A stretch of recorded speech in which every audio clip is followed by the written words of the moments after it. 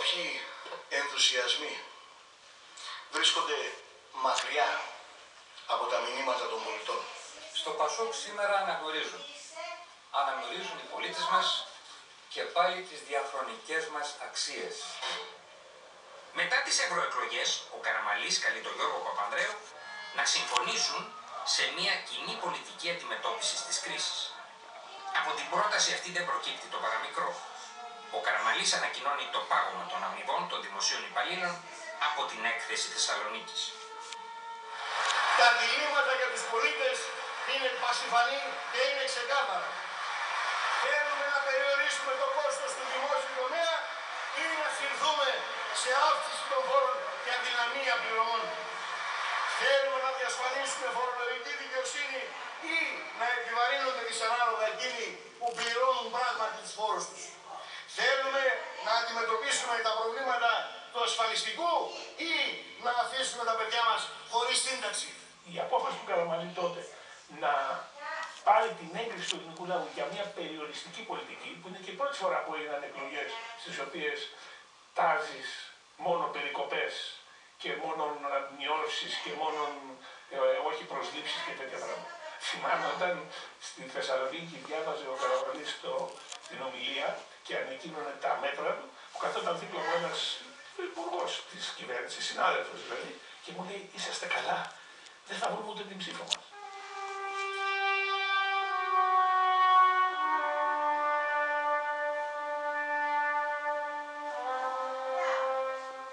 Η κατάσταση στο σημείο αυτό έχει ξεφύγει από κάθε έλεγχο και η Τράπεζα της Ελλάδος προειδοποιεί για πρωτοφανή δημοσιονομική εκτροπή. Η πολιτική ηγεσία όμως καταλάβαινε, για παράδειγμα, βρεθήκατε σε κάποια σύσκεψη με τον Καραμαλή και το οικονομικό του επιτελείο να τους πείτε, επειδή κοιτάξτε εδώ τα νούμερα, ε, θυμάμαι είχατε υπολογίσει ότι αυξανόταν με 1,5 δις το μήνα. Όπως έλεγα προηγουμένως, το έλλειμμα ε, κάθε μήνα που καινούριου του 2009 ήταν σχεδόν διπλάσιο σε σχέση με τον αντίστοιχο μήνα ή με την αντίστοιχη περίοδο του 2008. Αυτό το ήξερε η κυβέρνηση; Φυσικά. Δεν ξέρει το Υπουργείο Οικονομικών ποια είναι τα δημόσια οικονομικά της χώρας. Φυσικά το ήξερε. Βιώνουμε την κρίση αυτή λιγότερο βαριά από ό,τι άλλες κοινωνίες.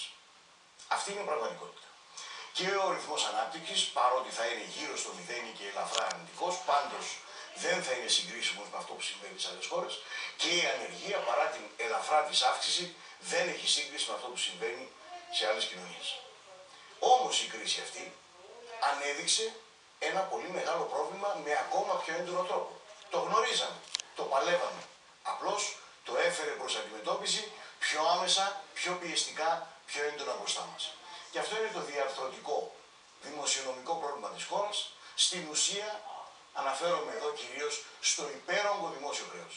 Ένα μεγάλο δημόσιο χρέος που χτίστηκε μέσα τις δεκαετίες, είναι η κληρονομιά των κυβερνήσεων του ΠΑΣΟ και πρέπει να το αντιμετωπίσουμε. Και πρέπει να το αντιμετωπίσουμε τώρα, έτσι ώστε να μην αναγκαστούμε ως κοινωνία αργότερα να πάρουμε πιο δύσκολα, πιο δυσβάστακτα, πιο οδυνηρά μέτρα. Και τα λεφτά δεν λείπουν. Διότι εγώ θα ρωτήσω ευθέως τον κύριο Καραμαλή, χρέωσε τη χώρα 100 δισεκατομμύρια ευρώ τα τελευταία 6 χρόνια. Από 160 δισεκατομμύρια ευρώ χρέος πήγαμε στα 260 δισεκατομμύρια ευρώ, κύριε Καραμαλή. Πού τα πήγατε αυτά τα λεφτά; Πήγαν στην υγεία, πήγαν στην παιδεία, πήγαν στην περιφερειακή ανάπτυξη, πήγαν στην ανταγωνιστικότητα της οικονομίας μας. Τα λεφτά αυτά πήγανε σε ημέτερους, σε κομματικές προσλήψεις, πήγανε σε συμβάσεις κάτω από το τραπέζι, πήγαν σε διαφθορά, πήγανε σε χιλιάδες επιτροπές κομματικών οι οποίοι αμείβονται για, από το δημόσιο προπανά. Και αυτά, αυτή την πολιτική σήμερα ο κύριος Καραμαλής λέει θα πρέπει να την πληρώσει ο ελληνικός λαός. Εμείς ξέρουμε που θα βρούμε τα λεφτά και είναι 2,5 με 3 δις για να ξαναξεκινήσει η οικονομία.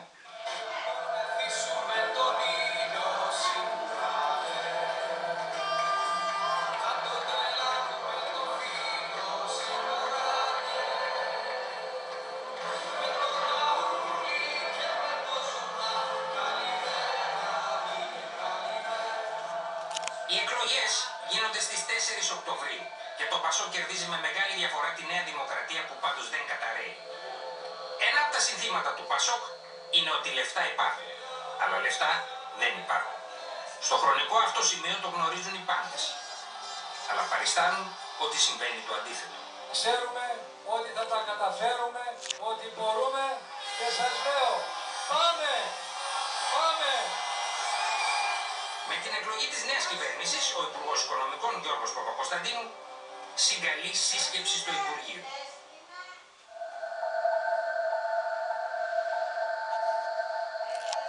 Φυσικά οι δύο πολιτικοί αντίπαλοι θυμούνται με διαφορετικές λεπτομέρειες την πιο κρίσιμη και λεπτή παράδοση της παραλαβής δημοσίων οικονομικών στην Τρίτη Ελληνική Δημοκρατία. Δεν μας παρέδωσε φακέλους, δεν μας παρέδωσε υπολογιστές με στοιχεία ε, και στη συνέχεια ανακαλύψαμε ε, ότι κεντρικά, κεντρικές πληροφορίες που θα έπρεπε να είχε ο εισερχόμενος Υπουργός Οικονομικών, για παράδειγμα για τις διαπραγματεύσεις οι οποίες γινόντουσαν εκείνη την εποχή της Βρυξέλλες, δεν υπήρχαν. Πολλά από αυτά τα χαρτιά τα πήραμε από τις Βρυξέλλες.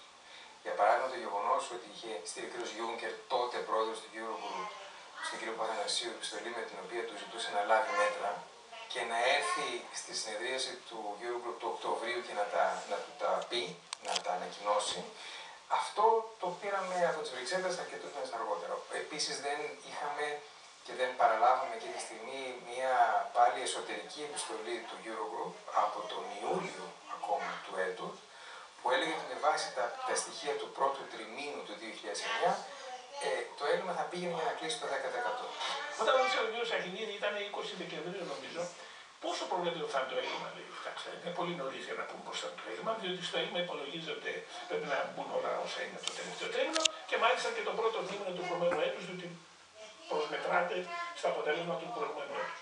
Σε εμάς λοιπόν η μοναδική πρόβλεψη που κάναμε και έπεσε ακριβώς μέσα ήταν αυτή του ελλείμματος, γιατί; Διότι τόσο θέλανε να το βγάλουν, τόσο το βγάλανε και όπου δεν μπο- και για να βγει τόσο, εκεί που είχαν προβλέψει ας πούμε ότι θα γινόταν δύο δαπάνες για τα ε, δύο δις για τα εξοπλιστικά, έγιναν 1,5.